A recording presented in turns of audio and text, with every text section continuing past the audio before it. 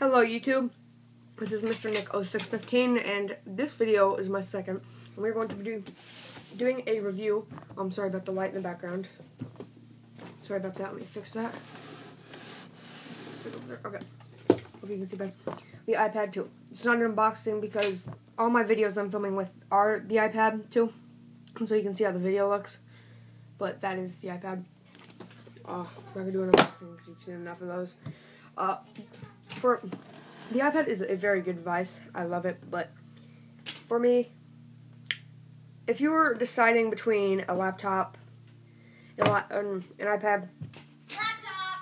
Yeah, like what my sister just said. If you heard that, a laptop. That's what I would. I should have went with because they have more advantages like Adobe Flash, which you can get on the iPad, but it's really bad.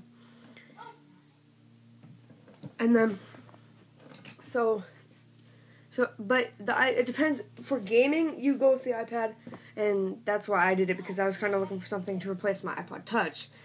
But if you're looking to do, you know, school work, business work, I'd recommend like the MacBook or just a laptop. Uh, there is in August iOS 5 is supposed to come out, and I think I am looking forward to that. I'm looking forward to that because it's got the messaging. If you don't know what that is, it's they have messaging where you can text each other. Uh, no, the notifications uh, folder that you like slide down, slide down like that. Uh, and then they have the newsstand, and you can like sync yours without being in the computer. There's people that already have it, but they're hackers, and I can do it, but I don't want to hack it. Because I love Apple. There is it. Uh, what for else the iPad 2? Let's see what else we can do. Um, pros, it is very thin and light. Cons, uh, it's kind of big. but that's what I like about it. Some people don't. It depends. Uh,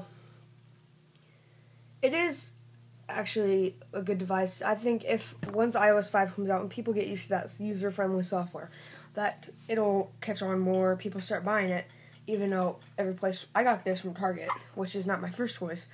But because Apple's all sold out, Best Buy was all sold out, and this is a white 16 gigabyte Wi-Fi, 599 or 499. So that's why I got it from Target because they're the only place that had it. Uh, it is basically the iPod Touch fourth generation bigger. So that's basically what it is. I don't, I don't know. I just I like the iPad. I like technology. Um, this is it for my second video. If you'd like anything, the daily news is going to be first episode of daily news is going to be next video, video three. Please leave a comment or subscribe. Please leave a comment on what you'd like me to talk about in the daily news. Thank you.